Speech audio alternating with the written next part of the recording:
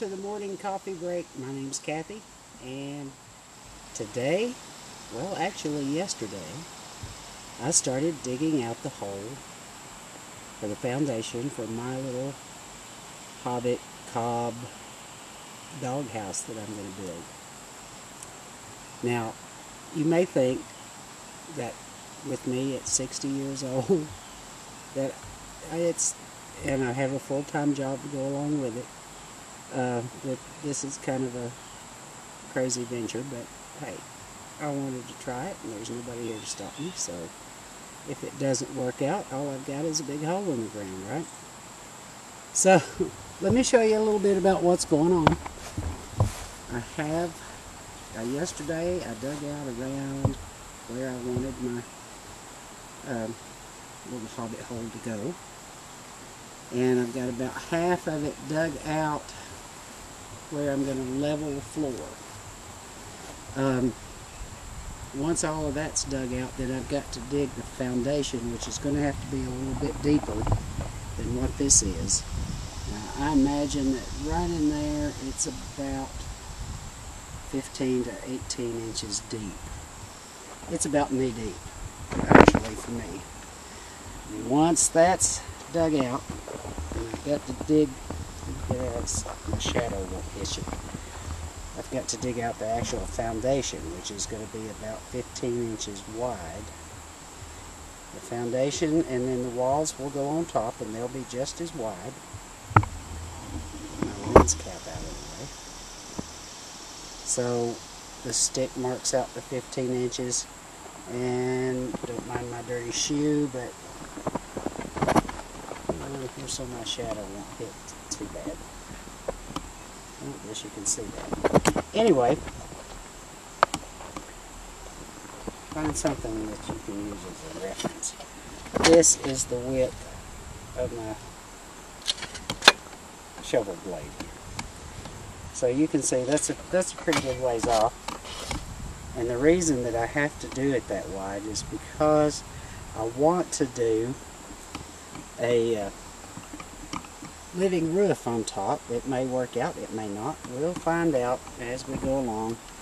And if you think that I'm some kind of master builder or something, you're wrong. I have been watching YouTube videos and I bought a book. I'm working my way into learning how to do this. I'm going to make a lot of mistakes. Hopefully there won't be too very many of them. Uh, I may get halfway through this and decide that I can't do it and give it up. I don't think I will, but there's always that possibility. Now yesterday, I took some of the dirt that I dug up out of this hole, mixed it with water. This East Tennessee soil is, is pretty heavy in the clay area, so as you can see, when I compacted that wet soil, wet clay. This is not even completely dried. And it's hard as a rock.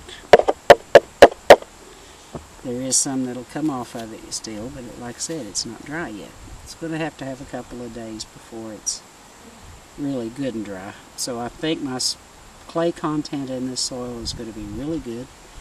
A little bit thinner, about finger, about finger size, just to see how it was going to do. And it's holding up well. It's not dry yet. And just as a little further experiment, I mixed some sand with the clay and threw in some dry grass. This is basically what they used to make bricks out of, although the grass was not what they used. They used straw, and that's what I'll use eventually.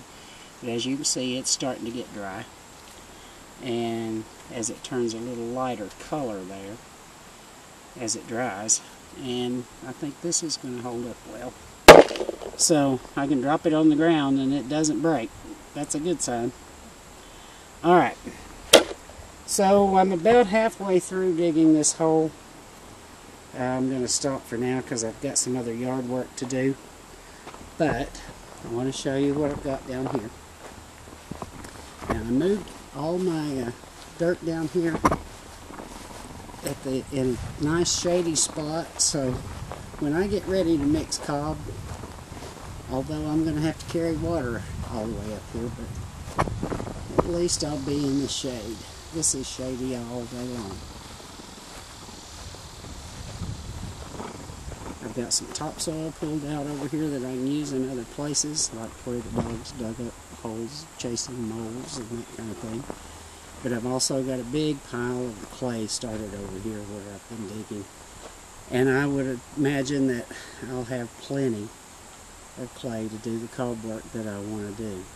Now, as I work through this, I will have to sift it all out, get all of the uh, uh, organic material out of it before I start using it for cob. So that's, like I said, this is a labor intensive process. And it's going to take, especially since it's just me, it's going to take a while. Now, the reason that I decided to put the doghouse where I did is because the door will be facing south and that gives me a lot of the midday and some of the morning sun.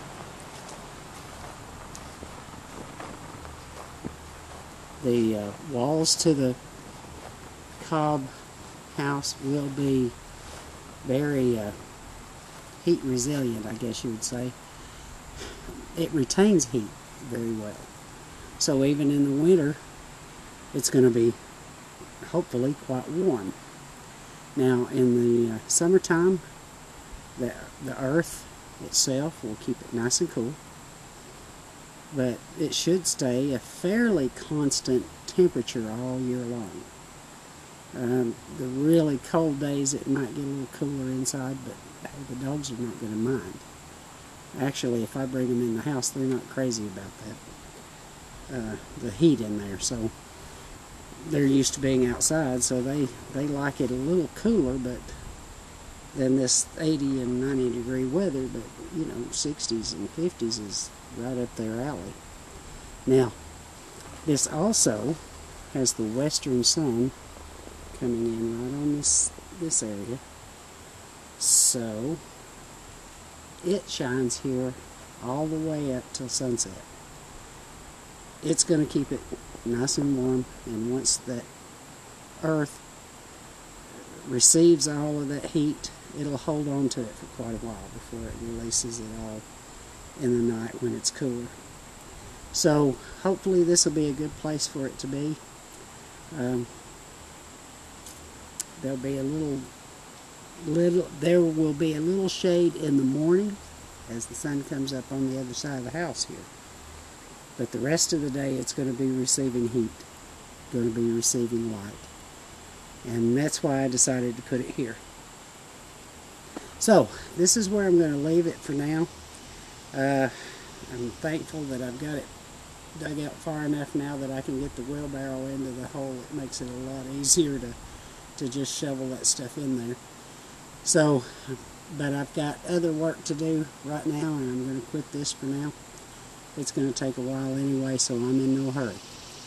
Thanks for joining me, guys. If you have any questions, leave them in the comments below.